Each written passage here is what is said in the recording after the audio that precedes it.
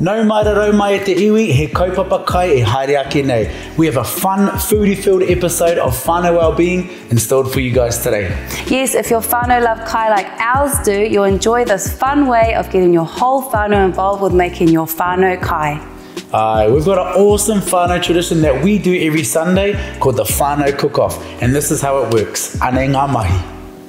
As you know, in our everyday normal lives with working, school, and extracurricular activities, things can get so full on that you find it hard to create that space for quality whānau time. Yes, so a couple of years back we decided to make a change and actually prioritise our whānau time. So we created this new kaupapa to allow us to create more kotahitanga with our tamariki. We call this time the whānau cook-off. So what you do is you split your whānau into teams. Pair up one matua with each of the tamariki. If you have one child, then rotate the adults each week. That way, mama can have a night off cooking. Ai, anei te mea pai, here's the good part. You assign all the responsibility of the food to the tamariki. Manga tamariki e whakahaere ngā āhuatanga katoa o te kai. Nē reira koutou, i te pōnei, ki te tunu mātou katoa i ngā kai. Ko ngā tama, ka tunu tahi i te taha o māma, ma koutou e mahi i te kai tina. Ka pai? Ai. Ka pai. A ka tunu māoko Ayana i te pūrini. Ka pai ko tiro? Ka pai. Nō reira, i tēnei wā, me titiro koutou ki roto i ngā puka puka ki te kime i ētahi momo kai. Ka piringi koutou ki te tunu, ne? Ai. So the kids get to plan the night's menu. You can assign a meal for each group, dinner or dessert, or rotate per adult every week. The kids budget for the kai that they want to cook, and they also help cook and present the kai as well. Kia pai te whea kai. You want to create a fun learning experience when you do this with the tamariki. Also, keep an open mind to any ideas that they might have. Yes, try not to take over in this one moment and encourage them through the process. Always speak life into them and praise them for what they do. I te wā e whakariti ana ngā tamariki i te rārangi kai. So when the kids are planning their menu, you can pull out a few cookbooks for them to look through. You can even go on Google or Pinterest, or better yet, give Nan a phone call to ask her for some whānau recipes. The one thing that we encourage our tamariki to do is to think of different cultural dishes and cuisines. And to change it up, you could do a themed menu of kai Māori, Mexican or Polynesian inspired kai. Ko tētihi o a māua ture matua, so one of our main rules is that you can't cook the same thing twice. So that means we're getting to try new kai, the kids are learning how to make new recipes, and they're also gaining these amazing life skills while spending time as a whānau.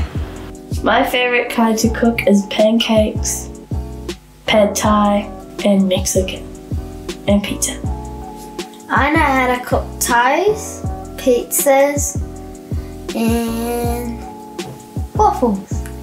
My favourite kai is kiki, pia pia me ai karimi.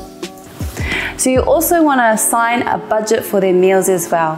This way they'll learn how to be responsible for the money that they'll spend on their kai. Yes, and instead of taking them to the shop, what you can do is pull up an online shopping site and let them type in the ingredients so they get to see what the prices are and know how much they have left to spend. Now for the fun part, the cooking. Now use this time to teach your tamariki about food technique, food safety, and the different types of food ingredients. Ai, mō ngā tamariki iti, so for the younger kids, you can get them involved in simple things like cutting and prepping veggies, mixing the bowls, or even measuring out the kai. For the older kids, get them involved with everything, but just make sure that you explain things clearly and focus on safety. Kia haumaru te mahi. Finally, when it comes to plating, let your kids have fun with it. See what they come up with. One great idea is to get a photo example from a cookbook and use that as a guide. Ah, ko tai ki te wā kai. It's finally time to try the beautiful kai that your tamariki have prepared. Now, to add a competitive element, you can all do a secret vote out of 10 and whoever wins can nominate who does the dishes.